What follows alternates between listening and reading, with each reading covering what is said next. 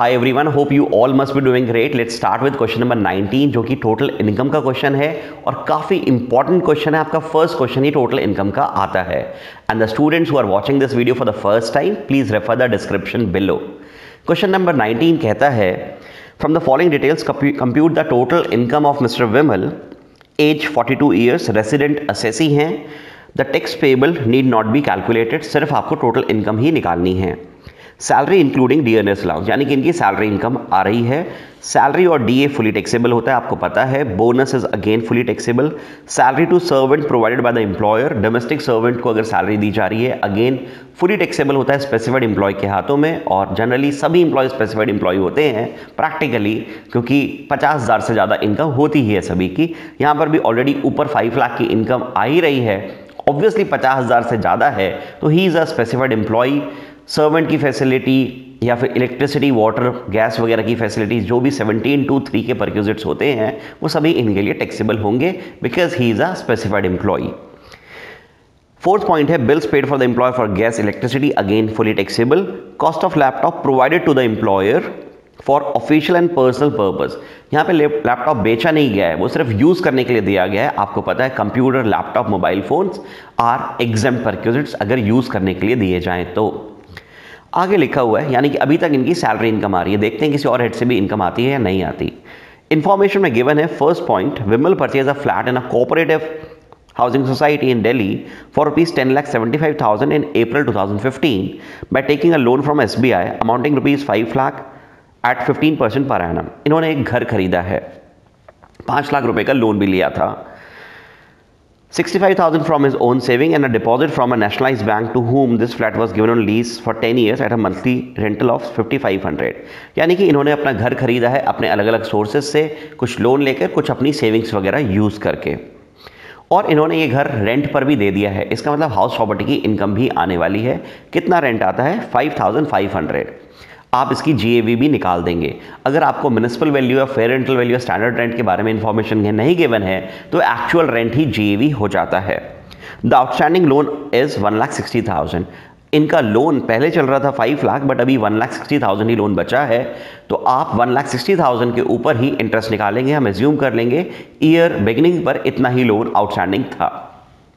Second point से municipal taxes paid by Vimal 4,500 आपको पता है इनकी जो भी जी आने वाली है उसमें से म्यूनसिपल टैक्सेस माइनस कर सकते हैं। थर्ड पॉइंट से insurance in respect of the said flat is one two seven five आपको पता है कि कोई भी एक्स्ट्रा खर्चा हम अलाउ नहीं करते, सिर्फ़ municipal taxes paid by the owner he minus होते हैं। उसके अलावा दो डिडक्शन मिलती हैं ट्वेंटी फोर ए की स्टैंडर्ड डिडक्शन जिसमें सारे खर्चे ऑटोमेटिकली ही कवर हो जाते हैं।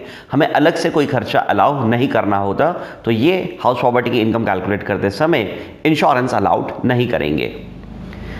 Fourth point says Vimal earn a profit of fifteen thousand share speculation business तो यहाँ पर इनकी तीसरे हेड की इनकम आ गई पीजीबीपी की and it's a speculative business income fifteen thousand rupees PGBP and incurred a loss of twenty thousand two hundred in speculation business of cotton यानी कि इनके दो स्पेकुलेशन बिज़नेस हैं, एक से प्रॉफिट आया पंद्रह हज़ार का, दूसरे से लॉस आया बीस हज़ार दो सौ रुपये का।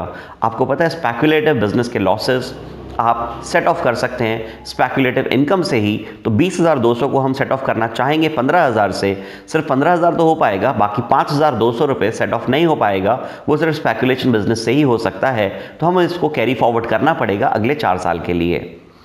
नेक्स्ट पॉइंट से fifth point in the year 13 14 he has gifted 50000 to his wife and 30000 to his son, who was 11 years of age. 2013-14 में इन्होंने अपनी वाइफ को और अपने सन को कुछ कैश गिफ्ट किया था। इनका सन उस समय 11 साल का था। यानी कि अगर हम प्रीवियस ईयर 18-19 में भी देखें तो अभी इनका सन माइनर ही होगा।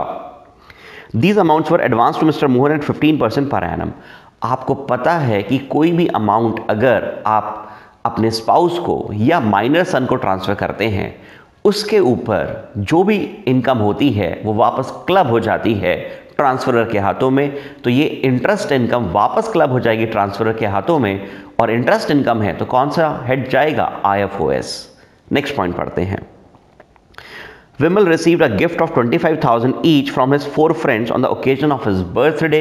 25,000 each चार दोस्तों से मिला है एक लाख रुपए टोटल टैक्सेबल कर दीजिएगा। एग्रीगेट कैश गिफ्ट पचास हज़ार से ज़्यादा है फुली टैक्सेबल हो जाएगा। सेवन्थ पॉइंट से he contributed ten thousand five hundred in P P F eighty C की रिडक्शन मिल जाएगी six thousand in ULIP eighty C मिल जाएगा। He deposit sixty thousand tax saver deposit with nationalise banks आपको पता है, पाँच साल के लिए नेशनलाइज बैंक्स में एफ़ डी वगैरह करा सकते हो बट वो अपने नाम से होनी चाहिए। नाइन पॉइंट से इन्होंने लाइफ इंश्योरेंस पॉलिसी ली है अपने डॉटर के लिए। ऑल दो वो मैरिड हैं, इससे फ़र्क नहीं पड़ता। आप डिपेंडेंट या नॉन डिपेंडेंट चिल्ड्रन के लिए एल आई सी की प्रीमियम पे कर सकते हैं। ट्वेंटी फाइव थाउज़ेंड पे करा है टू लाख का समय शॉर्ट था डेट दी गई है one four two thousand thirteen यानी कि यहाँ पर टेन परसेंट का आने वाला है। तो आप दो लाख का टेन परसेंट ट्वेंटी थाउज़ेंड की डिडक्शन ही दे पाएँगे अंडर सेक्शन एटी सी तो आप इसको प्रेजेंट कैसे करेंगे? मैं हमेशा बोलता हूँ टोटल इनकम के क्वेश्चन को पहले मेन आंसर प्रेजेंट कीजिए कि इनकम इनकी कहाँ कहाँ से आ रही है। जिसे आप यहाँ पर प्रेजेंटेशन में देख सकते हैं। उसके बाद डिडक्शंस आप लिख सकते हैं या फ़िलहाल अभी छोड़ सकते हैं जब तक आप अपनी ऊपर जी नहीं निकाल सकते। तो फ़र्स्ट नोट बताइए सैलरी का।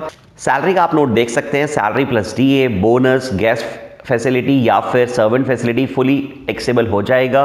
लैपटॉप की फैसिलिटी एग्ज़ाम हो जाएगी। इनकी ग्रॉस सैलरी आ जाएगी five lakh forty one thousand five hundred जिसमें से आप सेक्शन सिक्सटीन की डिडक्शन दे सकते हैं। एक ही डिडक्शन मिलेगी इनको। स्टैंडर्ड डिडक्शन वो की मैक्सिमम फोर्टी थाउज़ेंड हो जाएगी।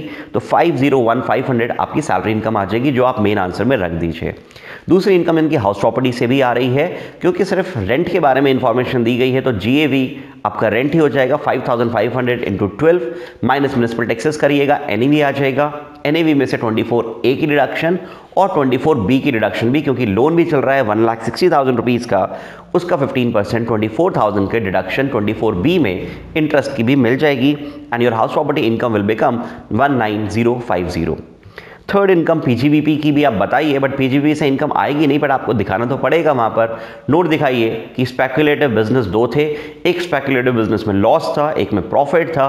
वो लॉस सेट ऑफ़ हो चुक गया है बट अभी पूरा सेट ऑफ़ नहीं हो पाया है। पाँच हज़ार दो सौ को कैरी फॉरवर्ड करिए अगले चार साल तक।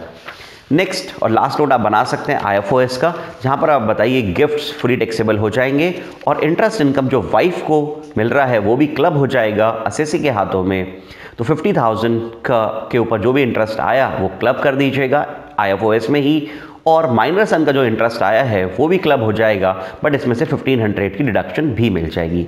इस तरीके से आपकी जी टी यहाँ पर आ जाएगी।